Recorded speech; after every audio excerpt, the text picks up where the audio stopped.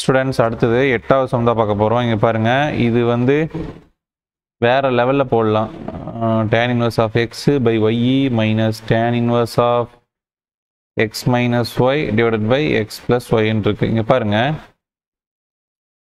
tan inverse of eight term divided by என்ன பண்ணுறோன்னா y பண்ணிக்கிறோம். எங்கே இதுக்குள்ளே. அப்போது இந்த மாதிரி ஆகிடுமா x by y plus one right இதை என்ன எழுதிக்கலாம் இங்கே பாருங்கள் இதுக்கப்புறம் தான் ஹைலைட்டு இதை வந்து என்ன எழுதிக்கலாம்? ப்ராக்கெட் போட்டு tan inverse of x by y minus tan inverse of ஒன்னு எழுதிக்கலாம்.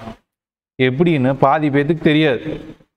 இது ஆக்சுவலாக என்ன என்ன ஃபார்மேட்டில் இருக்குன்னா tan inverse of x minus tan inverse of y equal to tan inverse of x minus y divided by one plus x y அப்படிங்கிற ஃபார்மேட்டில் மேலே இருக்குது நீங்கள் சப்ஸ்டியூட் பண்ணிங்கன்னா இது வந்துடும் ஸோ அதுலேருந்து நம்ம என்ன பண்ணிக்கலாம்? இதை பிரித்து எடுத்துக்கலாம் இப்படி.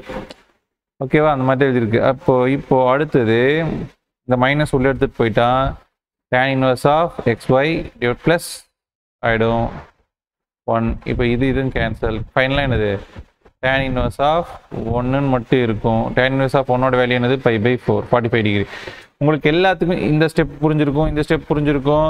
இங்கிருந்து இங்கே போட்டது புரிஞ்சிருக்கும். பட் இங்கே இருந்து இங்கே வர்றது மட்டும் பாதி பேத்துக்கு புரியாது. தயவு செஞ்சு கன்ஃபியூஸ் ஆகிக்காதீங்க ஓகேவா ஸோ அது அந்த ஸ்டெப் மட்டும் கிளியராக பார்த்துக்குங்க என்னென்னா இதை இந்த மாதிரி எழுதிக்கலாம். ரிவர்ஸ் ப்ராசஸில் எழுதுறோம். நம்ம என்ன எழுதுறோம்? ரிவர்ஸ் ப்ராசஸில் எழுதியிருக்கோம். ஓகே இதை இப்படியும் எழுதலாமா அப்படின்னு சொல்லி முழிப்பாங்க சிலர். ஓகேவா நம்ம இப்படி தான் எழுதணும் அதை.